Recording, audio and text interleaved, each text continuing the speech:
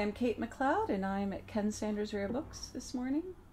I'm a songwriter and a fiddle player and a musician of many instruments, but today I'm here with my guitar singing songs amongst the many books. And I'm going to sing for you a song of mine that I've not recorded yet. This is one of my favorites, though, so I thought I'd share it with you. This is called Love in Motion.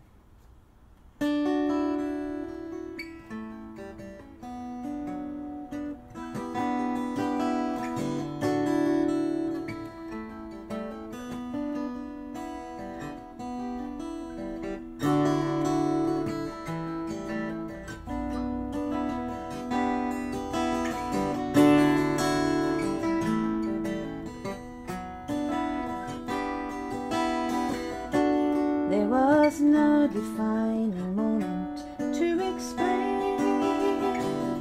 There was no photograph to show.